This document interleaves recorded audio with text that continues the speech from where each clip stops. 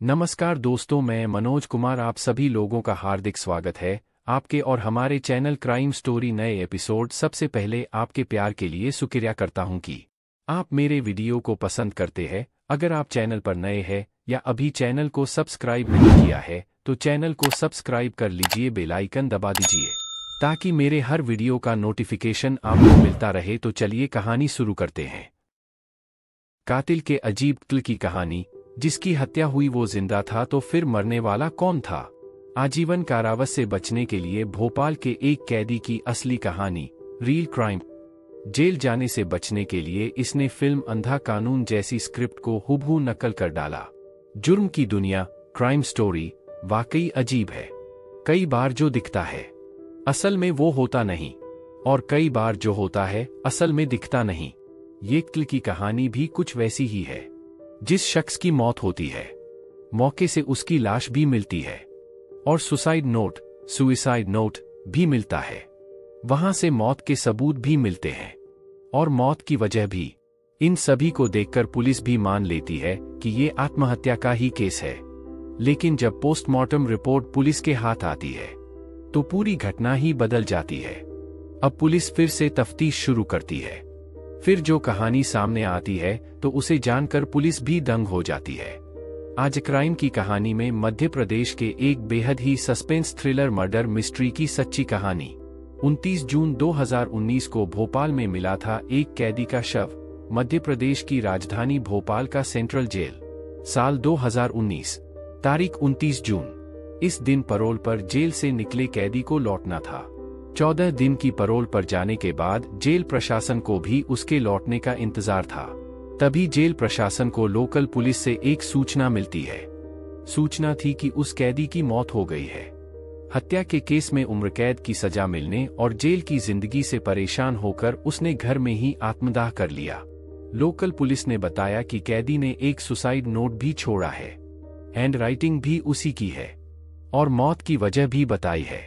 इसलिए अब उसके शव का पोस्टमार्टम कराकर केस को बंद करने की तैयारी है। ये जानकर जेल प्रशासन भी उस कैदी के केस को बंद करने के लिए लोकल पुलिस के फाइनल रिपोर्ट का इंतज़ार करने लगा। जिस कैदी की मौत हुई थी उसका नाम था राजेश परमार। उम्र तकरीबन चौंतीस साल। वह मध्य प्रदेश के भोपाल के नीलबड़ एरिया के हरिनगर में रहता था।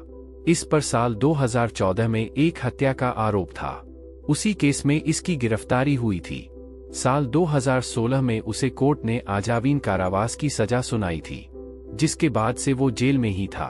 उसी समय राजेश के पिता की मौत हो गई थी। इसी वजह से उसे चौदह दिनों की परोल मिली थी। इसलिए 15 जून को वो परोल पर बाहर आया था। 29 जून को उसकी परोल खत्म होने वाली थी। इस वजह से उसे हर हाल में 29 जून को जेल में लौटना था। लेकिन 29 जून की सुबह ही उसके घर से आग की लपटें निकलने लगी थीं, जिसे देख आसपास के लोगों ने पुलिस को सूचना दी। फायर ब्रिगेड की गाड़ियाँ और लोकल पुलिस मौके पर पहुँची। आग बुझाने पर देखा गया तो एक युवक बुरी तरह से जल चुका था। चेहरा और शरीर भी पूरी तरह से जला हुआ था। देखकर ही वो मरा हुआ लग रहा था। फिर भी पुलिस ने आखिरी उम्मीद में उसे तुरंत अस्पताल में भर्ती कराया। जहाँ डॉक्टरों ने मृत करार दिया सुसाइड नोट से मौत की वजह का पता चला, अब पुलिस ने घर की तलाशी ली तो एक सुसाइड नोट भी मिला, जिसमें लिखा था कि पिता की मौत होने से वो दुखी था।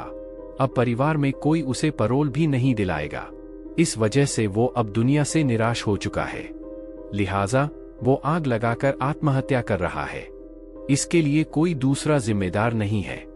अब ये सुसाइड नोट के आधार पर पुलिस ने भोपाल सेंट्रल जेल को भी सूचना दी। शव को पोस्टमार्टम के लिए भेज दिया। साधारण सुसाइड केस की तरह पुलिस ने भी इसे एक तरह से बंद कर दिया। उधर, पोस्टमार्टम के बाद शव को रिश्तेदारों को सौंप दिया गया। रिश्तेदारों ने भी शव का अंतिम संस्कार कर दिया। लेकिन इस पूरे केस में 24 घंटे बाद नया मोड़ आया। जब वहाँ की पुलिस को राजेश परमार की पोस्टमार्टम रिपोर्ट मिली, उस समय के भोपाल पुलिस के नए एएसपी अखिल पटेल के पास नीलबड़ का एरिया था। इन्होंने जब पोस्टमार्टम रिपोर्ट देखी तो चौंक गए। रिपोर्ट में लिखा था कि गला दबाने से जान गई है। यानी मौत की वजह आग या धुएँ से दम घुटना नहीं बल्कि गला दबाकर हत्या हुई है। फिर वो इस केस की तफ्तीश में जुट जाते हैं। तुरंत मौके से ली हुई सभी फोटोग्राफ अपने पास मंगवाते हैं। अगर आग से जलकर मरा तो फिर गला किसने और क्यों घोंटा? सभी फ़ोटो को बारीकी से देखते हैं। एक फ़ोटो में वो देखते हैं कि मरने वाले शख्स का पैर बिल्कुल एक दूसरे से चिपका हुआ था। जबकि जब भी कोई जलकर मरेगा तो वो तड़पने लगेगा। फिर उसके पैर एक दूसरे से चिपकने के बजाय अलग अलग होने चाहिए। लेकिन इस केस में ऐसा नहीं था। दूसरी तस्वीरें भी देखते हैं। उनसे पता चलता है कि उस शख्स का चेहरा और सीने वाला हिस्सा ही पूरा जला था जबकि हाथ और पैर ज़्यादा जले नहीं थे और अजीब तरीके से मुड़े भी थे। इससे शक यही होता है कि कहीं हाथ और पैर बंधे तो नहीं थे, जिस वजह से ऐसा हुआ। अब इसका पता लगाने के लिए वो पुलिस अधिकारी पूरी टीम के साथ मौके पर जाते हैं। घटनास्थल को बारीक से देखते हैं। फिर आसपास के लोगों से पूछताछ करते हैं। तो पता चलता है कि एक दिन पहले जब राजेश परमार के साथ एक या दो और लोग भी देखे गए थे, अब पुलिस इस केस की फ़ाइल को बंद करने की जगह फिर से खोलती है। जाँच शुरू करती है। अब पुलिस को ये शक हुआ कि जिसकी मौत हुई उसकी पहले गला घोंटकर हत्या की गई। लेकिन राजेश को जब सुसाइड ही करना था तो उसकी पहले हत्या क्यों की गई? अगर किसी ने गला दबाया तो वो कौन था? अब पुलिस के सामने ये भी सवाल था कि कहीं ऐसा तो नहीं कि मरने वाला राजेश ही ना हो। अगर ये राजेश नहीं है तो फिर कौन था? इन सब सवालों का पता लगाने के लिए पुलिस ने उसके मोबाइल नंबर का पता लगाया। फिर रिश्तेदारों के ज़रिए उसका एक नंबर मिला जो जेल से आने के बाद एक्टिव था लेकिन अब बंद था। उसकी आखिरी लोकेशन भी भोपाल की ही थी। पुलिस ने जब उसके फ़ोन की कॉल डिटेल चेक की तो एक नंबर पर कई बार बात होने की जानकारी हुई। लेकिन जब उस नंबर पर संपर्क किया गया तो वो भी बंद था। वो नंबर था निहाल नामक युवक का। अब पुलिस के सामने निहाल को खोजने की चुनौती थी। और मन में सवाल ये भी आ रहा था कि कहीं निहाल ही तो नहीं मारा गया। इसके अलावा और भी कई सवाल। फ़िलहाल पुलिस उसकी तलाश में जुट गई। फिर पता चला कि निहाल मूल रूप से बिहार का रहने वाला है और पहले राजेश के मकान में ही किराए पर रहता था। लेकिन कुछ महीने से यहाँ से दूसरे मकान में शिफ्ट हो गया था। अब पुलिस की जाँच में निहाल की लोकेशन गुजरात में मिली। इसके बाद पुलिस की एक टीम गुजरात पहुँची और दबोच लिया। इसके बाद जब उससे कड़ाई से पूछताछ हुई तब उसने जो कहानी बताई वो बेहद ही चौंकाने वाली थी। मरने वाले के दोस्त ने चौंकाने वाली बताई ये कहानी। निहाल ने बताया कि जेल से परोल पर आने के बाद राजेश ने उससे संपर्क किया था। फ़ोन पर बात हुई और वो उससे मिलने भी गया था। बातचीत के दौरान वो काफ़ी परेशान था। इमोशनल भी था। क्योंकि पिता की मौत के बाद उसे अब ज़िंदगी में शायद ही कभी परोल मिलने की उम्मीद थी। इसीलिए उसने सोचा था कि वो दुनिया की नज़रों में हमेशा के लिए मर जाए और असल में ज़िंदा भी रहे। इसके लिए उसने कुछ क्राइम सीरीज़ देखी थी, जिसके बाद एक खौफनाक आइडिया अपनाया। इसके लिए उसने घर में रहने वाली एक मात्र माँ को पूजा करने के बहाने 23 जून को ही बाहर भेज दिया था।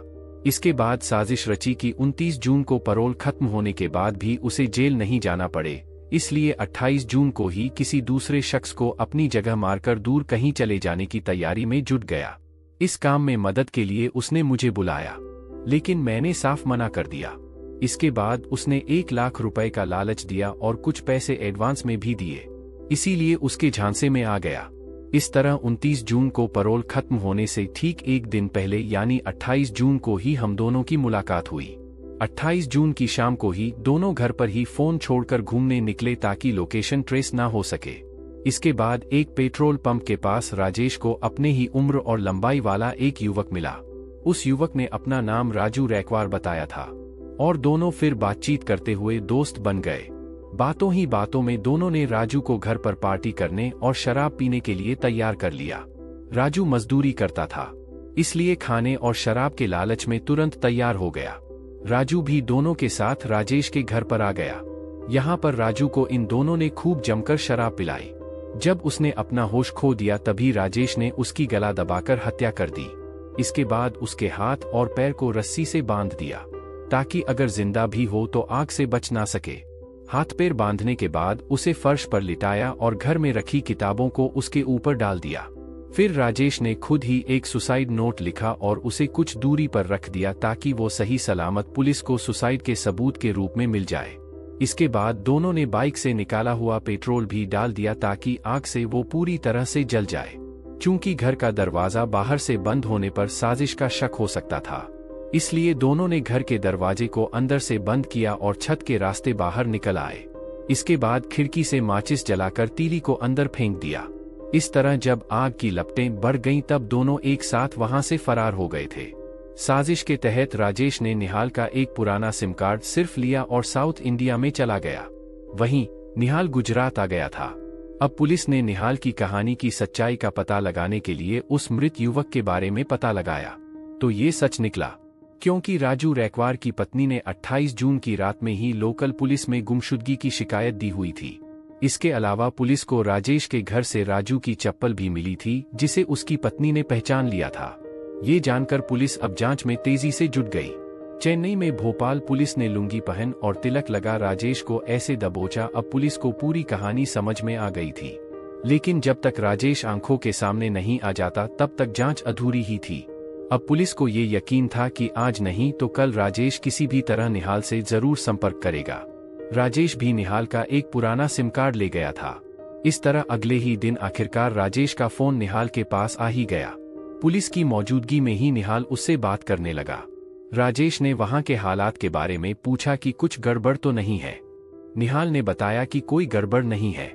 पुलिस को कुछ पता नहीं चला। इसके बाद राजेश ने कहा कि चेन्नई में उसे कुछ मदद चाहिए। अगर कोई दोस्त हो तो बताना। इस पर निहाल ने कहा कि वो उसे जल्द ही बताएगा। इसके बाद फ़ोन कट हो गया। अब पुलिस ने भी राजेश को पकड़ने के लिए पूरी फिल्मी कहानी रची। इसके तहत पुलिस के कुछ लोगों को चेन्नई भेजा और उन्हें लोकल बनकर राजेश से मिलने के लिए बोला। इस तरह निहाल ने राजेश को चेन्नई में रहने वाले अपने एक दोस्त का ज़िक्र करते हुए उसका फ़ोन नंबर शेयर किया। जिसके बाद राजेश पुलिस वाले को ही निहाल का दोस्त समझकर उससे बात की और मिलने गया। जैसे ही राजेश ने लुंगी और माथे पर तिलक लगाए, दो युवकों को निहाल का दोस्त समझकर मदद मांगने पहुँचा, तभी उसे पकड़ लिया गया। इस तरह पुलिस ने एक ब्लाइंड मर्डर केस का खुलासा करते हुए 8 जुलाई 2019 को पूरे केस को मीडिया के सामने लाया था। इस केस के बारे में खुद आईपीएस अधिकारी अखिल पटेल कहते हैं कि ये केस कानून की आँखों में धूल झोंकने वाला था, लेकिन जब बारीकी से केस की जाँच हुई तो पूरा सच सामने आ गया। इसके बाद राजेश फिर से सलाखों के पीछे भेज दिया गया।